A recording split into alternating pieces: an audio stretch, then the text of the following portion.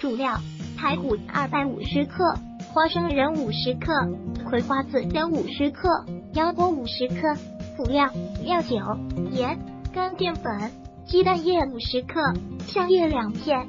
大料：花椒、姜、葱。老汤。准备时间：三十分钟到一小时。制作时间：三十分钟到一小时。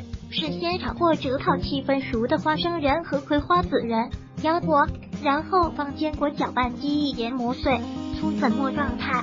里面可以加点盐和孜然粉，不加也可以。开水焯排骨，然后捞出洗净。锅里加清水，冷水下入排骨，加入调料：料酒、大料、香叶、花椒、姜片、葱段。老汤，盐中途再放。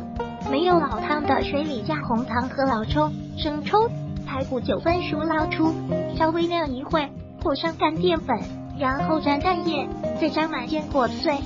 锅里加油，六成油温下排骨，炸一遍捞出，油温再次升到七成，重新将排骨倒入锅中，炸金黄色捞出，控油，即成。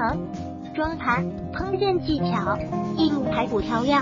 盐、料酒、大料、香叶、花椒、姜片、葱段和老汤。